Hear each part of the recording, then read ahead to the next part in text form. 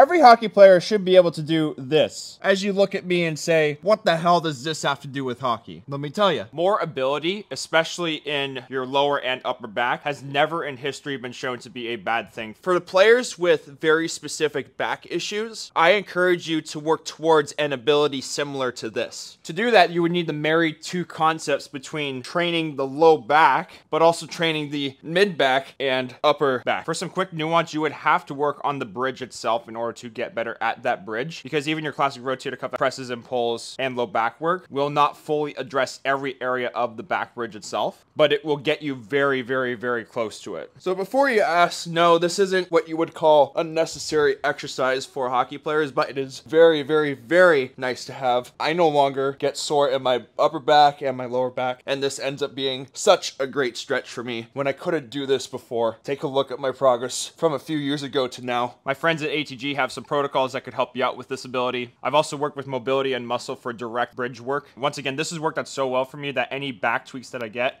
have to be contact. I get slammed against the bus. I fall off a skyscraper. I no longer pull any muscles or break my back just from moving the wrong way. And if you're in this position, I hope this helps you out. All right, so welcome back to my garage. Don't worry, I'm not gonna tie Lopez you guys and say it's like you gotta know the knowledge here, even though I am giving away free education. But uh, back bridge. Um, and by the way, I finally got this fixed. Equipment's inside. I don't have to worry about any snow or rain rusting this up anymore. I had a giant hole in my roof and it was seeping in water like crazy and took way too long to fix when you have bad construction companies. That's usually why it takes as long as it did for for for that. And uh, that was not good of course but i found some new guys they were great and they got it done within two days could have done it in one day i really appreciate appreciate them if you want to train with me in person uh, please send me an email or a text uh, through whatsapp telegram and uh, Gmail. Use those avenues, or you can DM me directly on Instagram. I wish I could talk to you guys through YouTube. It just wouldn't let me. There's no avenue to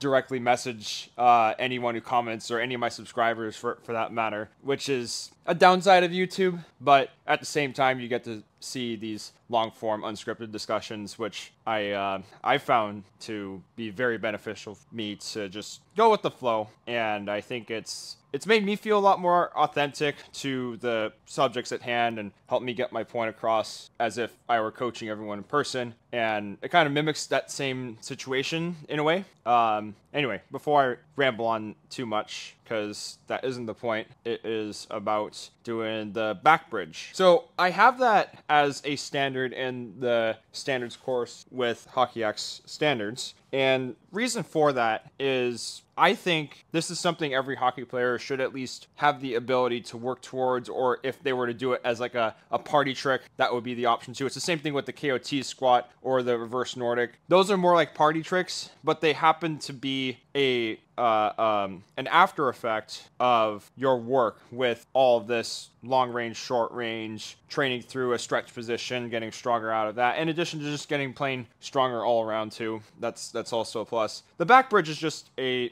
uh, another part of that. My flexibility with that specifically has improved dramatically, not just within the past six months, but within the past two years, ever since I first tried it. And the the the cool thing is with things like uh, ATG is that the exercises that they have, the exercise selection, and even the programming that they have, and the range of motion that they tell you to go through, basically have this be not like full fledged bridge, like a full perfect bridge that you would have in calisthenics or gymnastics or you know other other things like that. But it gets really, really, really close without even working on it to begin with. So Ben's able to just jump into a back bridge whenever he wants, and Alyssa's kind of the same thing. Now Ben's shoulders are uh, a little stiffer than maybe like uh, an Alyssa's or a uh, Derek Scott, uh, who's the guy who runs mobility and muscle. Because what they'll what they'll have, and this is also something I'm working on. So it's not it's not just a problem with Ben. What uh, what Ben had is or has as well is that in his bridge his head doesn't completely go in line with his wrists and, and all that. Still very good mobility for someone who doesn't work on bridges, mind you.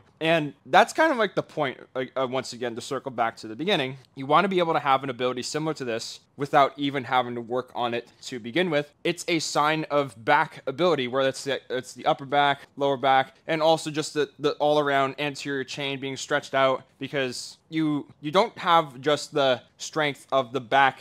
Why don't I demo it quick? You don't just have the strength of the back and shoulders to, to hold you up here. This is really stretching out the entire anterior chain. So let's say like your hip flexors are super stiff that you can't extend your hips up at the top, that's not gonna work. But then you go up the chain if your low back is weak and gets really tight, you're probably gonna be like, ah, seized up right here, that's not good. But uh, once you do get those things loosened up, which I'll explain in the video, then you have something that results very similarly to this bridge right here. So, how do you get to that point? Well, you have to definitely train the upper body. And uh, this is an exercise I haven't talked about in, uh, and I probably should have talked about in the rotator cuff video with St. Louis, which you can find on my channel. This is called a pullover. There's many variations to this, and basically what happens here is that you go across a bench or what you have with ATG right here with this back bench, which is a very unique design based off of older, uh, I think it was Arnold who was using it with all of his bodybuilding buddies. Basically, they had this type of bench to do bent arm pullovers, which is pretty similar to what uh, uh, what this is, but the difference here is that we use straight arms in order to get more mobility, and then you use bent arms to get more strength. And that's kind of like the primary difference between the two. But the point of that is it gets your shoulders and your spine and your basically your entire upper body into that specific stretch. Then you're lifting the weight out of it, provided you reach a certain standard. So that this is 50 pounds. That's about 25% of my body weight. I can do same straight arm pullover for about six to eight reps with 70 pounds, which you do the math on that. And this does is depending on how much stretch you get, you and most commonly you see this across the bench. If you do it across the bench, that's going to get you the most stretch. I think this kind of cuts at least it cuts me off. There's probably ways to manipulate it too, but you can use other things like a barbell with it. Range of strength is on that. Um, but you can the the what this does really stretches out the shoulders, stretches out the lats, basically gets you into that same exact bridge position. If your core is tight, your your your chest and everything like that, you're gonna feel it stretch out here too, and it gets your entire upper body into that pulled over position that you would be in, say, if you were in a bridge. And that is a very key thing behind this. The cool thing with the pullover is that it's also going to strengthen your lats, which is going to help with your throws, uh, say if you're in a throwing sport, but for a hockey perspective, that will still help out your shot speed as well. So really the stronger you get at this, pull-ups are going to be easier, presses are going to be easier. You're just going to feel a lot better. You're not going to be stuck down here. You're going to be stretched out into this position. You're going to be able to go in and out of ranges, and that's the entire point of training this in addition to something else like Jefferson curl, which they actually complement each other very well. For the low back work, you do need that. I've gone in way more detail into the low back in many other videos. I'll give a basic synopsis here. You want to be able to round the back in order to strengthen the back. You can either do that with back extensions, say if you're having a lot of trouble, that's as a starting point, you would need to also train the hip flexors to get and the, the, the, front side of core, as you could call it. I don't really like to use that term. You would also need to use the QL raises going side to side. That's kind of like breaking it down into three components to really simplify it. You would need to also train the back in extension and flexion. So Jefferson curl right here or a pike right here would train spinal flexion. It is okay to round the back provided you go into the range that is most comfortable and that your tissue can tolerate and that your body can tolerate without pain. You want to be able to go any range whatsoever without pain. That's the key point there. Do not work through pain, but you also want to be able to extend the spine, whether that's with a conventional deadlift, RDL, seated good morning, standing good morning, any type of good morning, any type of deadlift. And that is going to help you strengthen the tissue around your back so that eventually you can tolerate awkward positions that you would get into, such as bingo, bango, bongo, the back bridge. And that is really the point behind doing it as a hockey player. I know a lot of hockey players who have tight backs, tight shoulders. I work with some of them too, and I don't have that problem anymore. For my shoulders, I used to sleep on the wrong side of the bed, and I had like a, a weird hit that it screwed grade one, strained my AC joint at some point, and it recovered on its own very quickly. I didn't do any like rehab for it actually. Uh, I probably should have then. And then for my back, that coincided with my hip injuries and I never had a back specific injury, but the longer I had my ice sessions, when I was doing like all those six hour ice sessions, the more and more quickly my low back would fatigue. I never trained it. I actually lifting weights for a good period. If um, you guys have followed me for a while, but those introducing uh, you to me for the first time, I, there was a period of time where I actually didn't lift any weights, just focused on training hockey. Probably was a mistake, but I thought that lifting weights at the time would actually impede my progress with my hockey. Turns out I was completely wrong and I was just lifting weights the wrong way, not doing an ATG style, not training through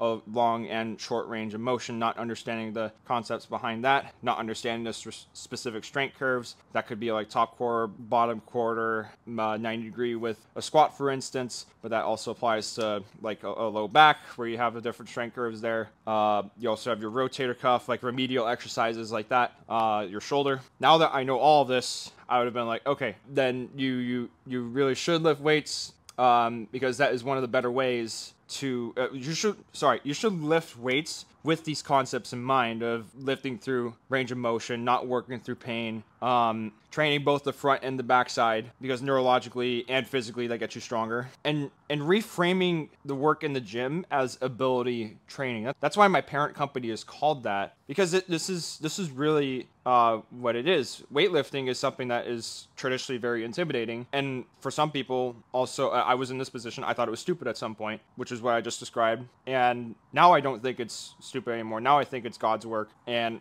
it's really helped me the, the way that i've lifted weights I should say, once again, is is the thing that's helped me. This is kind of like the method that I described briefly, something like bridge specifically. So I'm very glad that I have that ability. It's a not just a party trick, or something that I uh, show off, and I no longer tweak my back anymore. I, I basically have to fall off a skyscraper or get hit by a bus or anything else that I don't want to say happening to me or happening to anyone else for that matter. Anything horrific like that, um, because we don't want to manifest it. But the point is, I don't get back injuries anymore from just moving around because I've trained the ability to move around. I've trained my movement and my function in every pattern that I, I, I go through. And that's the point of doing something like the back bridge as a hockey player. Um, if you have questions, please let me know about that. There's more details about all the services that I offer from standard school, ATG hockey, and one on one custom coaching, which I still have spots available for. Prices have increased as I've accrued more clients, but you can still hop into that and see the details on either just a program or you get direct form coaching from me. Thanks for watching,